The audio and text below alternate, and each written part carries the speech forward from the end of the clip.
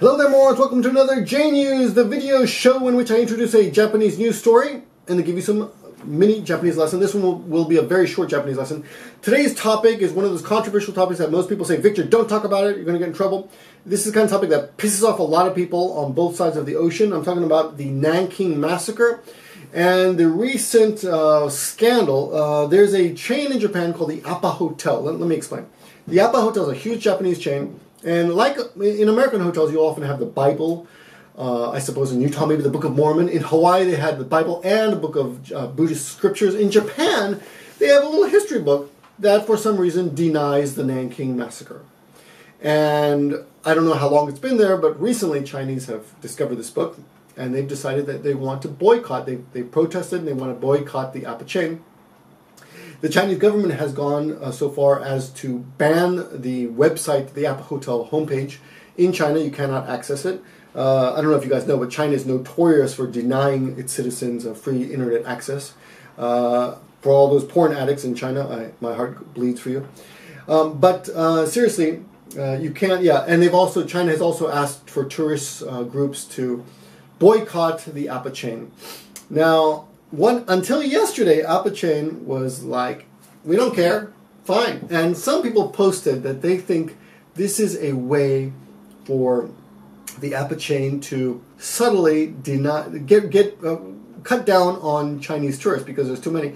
And this is all hearsay, and this is from you know uh, gossip pages on the blog on, on, on the internet and from students who tell me that APA Hotel is so, so, so successful that Japanese uh, tourists, Japanese guests cannot book rooms there because there's too many Chinese guests. So that this is a ploy by the APA Hotel management to just clean clean house a little bit and you know make a little room for the for the local um, guests, the local tourists. Whether that's true or not, I don't know, of course. Anyway, that's basically the story. Uh, and if you don't know, uh, if you come to Japan, this is one. This is a weird thing. Uh, let me. Let me. How do I explain? It? Okay, back in 1987, I was in Argentina, and every single person, pretty much in Argentina, sw would swear to me that AIDS was created by the CIA to kill black people. And everyone was convinced of it, and they thought that Americans are stupid, that we, we, we wouldn't believe this. We're just brainwashed people. So basically, the same thing is in Japan. Very reasonable people will tell you will tell you that they would prefer. Uh, uh, no, sorry message. Very reasonable people here in, in, Japan, some of my students, very intelligent, very nice people, will tell you, no, uh, we don't think the Nanking Massacre happened. We think the Chinese are liars. And of course, as you know, the Chinese uh, believe the opposite. And it's pretty much accepted that the Nanking did, massacre did happen. But of course, in Japan, it's one of those things where a, a lot of reasonable people will say, "No, I don't think so. I think it's bullshit." Or, or it happened, but it wasn't nearly as bad as they claim. However, it is in the history books. It is in the high school books. Um, I, have, I, have, high school students, and I, have I've seen it. And actually, one of my students, who's not a high school student, but her daughter, uh, it's in her te- textbook. However, the article is very short. The, the, the, it's just like half a page. So, a little bit like um, the um, um, American slaughtering of the Indians. You know, you don't see a lot of it in the American history books, but it is there. So, I'm sure every every country uh, has their dark, deep, deep, dark, dirty little secrets. Anyway, that's basically the story. I'm going to look at this one article and go through it real quick, quickly.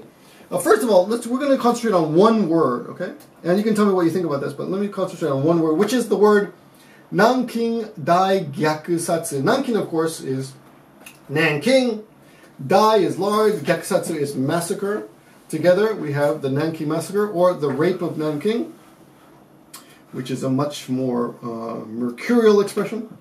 Well, yeah, that really gets your attention. Anyway, that that is the kanji, and that is how you say the Nanking mas massacre in Japanese. Nanking Dai Gyaku Satsu. If you meet a Japanese person and you want to really start up a very controversial topic conversation, I, I would really implore you do not bring it up unless you really want to get into something controversial or piss someone off. Uh, that's the, the, first part of the lesson. La, the last part, oh, this is interesting too. The woman who is the the um, where's her? The woman who is the owner, the shacho of the company, looks like this. She's a very flamboyant person, and she's quite right wing. She supports. She has supported right wing candidates in the past. And that's what she looks like. She's quite infamous. She's a little bit like the Japanese Trump. You know, Trump is very, very flamboyant as a hotel owner, and she is also a hotel owner though I don't think she's a uh, hotel builder, so to speak. Uh, but anyway, here's the headline here. APA Hotel ga Nanking Dai Gyakusatsu Hitehon. So there is a book that denies the Nanking massacre at the APA Hotel. 中国 SNS enjo. so on, Jap on Chinese uh, SNS or social network sites uh, there have been flame people are really pissed off and just writing comments everywhere 同社は客室から uh, Sudosha, the same company, previous company, APA Hotel, uh, We will, what? 客室。客な客客客。客。Sorry, mispronunciation, thank you. 客室 could be pronounced 客, in this case 客。客室から from the guest rooms 撤去しない we will not remove them, we will not re repeal, basically repeal or take back the books uh, from that room, and that's the update. But uh, but recently, that was until yesterday. Recently in Hokkaido, there's have this is the APA Hotel. They're everywhere. In Hokkaido, they're having Olympic Games. Where the hell did I put that? Uh, oh, no. Asian Olympic Games. Asian Olympic Games in Hokkaido, and I don't know where that link went now. Just a second here. I had it ready. Now it's oh, here we go. The Asian Olympic Games will be held in this hotel, in the APA Hotel in uh, Hokkaido, but the Chinese Olympic Committee or whatever has says no, we're not going to stay there because it's an APA Hotel. And finally, APA Hotel has relented and they've re- agreed to remove the books. So there you go. Uh, I guess in the end, the mighty yen is more powerful than your politi- political beliefs. Anyway, that's your story for today. Thank you very much for watching. See you in the next video.